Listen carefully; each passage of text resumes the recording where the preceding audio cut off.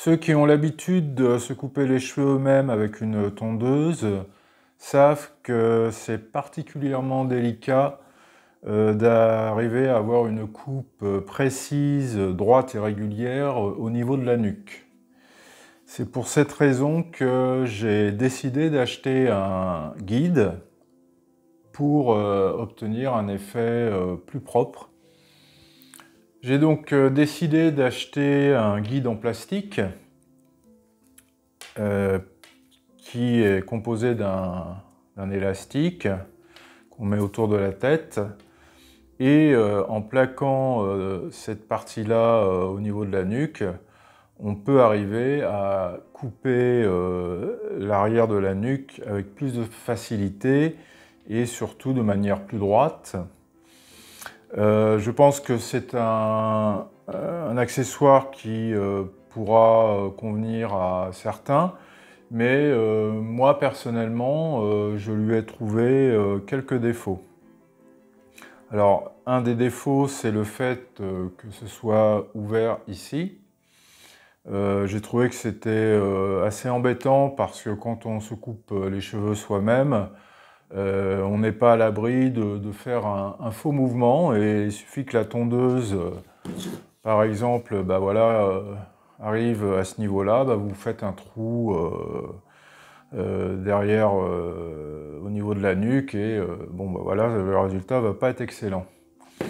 Et le deuxième problème que j'ai rencontré, c'est le fait que cette partie en plastique euh, n'est pas bien plaqué contre la nuque et du coup il y a un petit espace entre euh, la nuque et, euh, le guide, ce qui fait que quand vous amenez votre tondeuse, ça manque un peu de précision, justement dû à, cet écart qui existe entre le, guide et, votre nuque.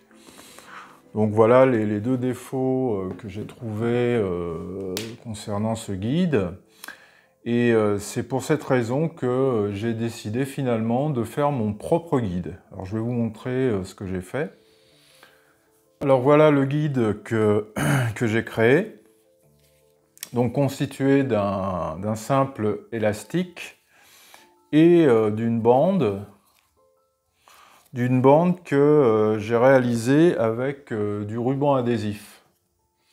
Alors c'était euh, relativement simple, c'est-à-dire que j'ai pris un bout de, ruban adhésif et puis je l'ai collé sur un deuxième bout de manière à ce que des deux côtés ça soit du plastique et que la partie collante disparaisse. Et ensuite j'ai fait deux trous, donc un ici et un ici, pour passer l'élastique. Et euh, voilà, donc je, mets ça euh, autour euh, de, ma tête. Et l'avantage, c'est que déjà ici, vous avez une partie relativement large qui protège vos cheveux. Donc si vous approchez votre, votre tondeuse, bon, vous risquez pas de, de faire de trous, donc c'est beaucoup plus euh, sécurisé. Et euh, aussi au niveau de, la coupe, euh, vu que le plastique ici, le ruban est très fin, vous pouvez avec la tondeuse bien plaquer le ruban contre vos cheveux du coup votre coupe est vraiment très très précise. En tout cas moi j'ai trouvé que c'était beaucoup mieux que l'autre guide.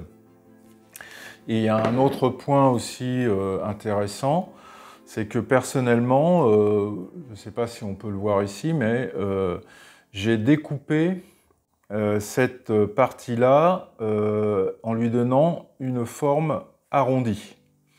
Donc ça permet de donner à la coupe de mes cheveux la forme que je souhaite avoir. Voilà. Donc vous pouvez euh, bien découper cette bande de manière à ce que ça corresponde au résultat que vous voulez obtenir. Donc finalement, euh, j'ai euh, trouvé que ce dispositif-là était beaucoup plus efficace que la coupe que j'obtenais était beaucoup plus propre et surtout bien droite. Et euh, euh, c'est tout ce qu'on espère lorsqu'on se coupe euh, les cheveux soi-même. Voilà, j'espère que ça vous a plu et je vous dis à bientôt.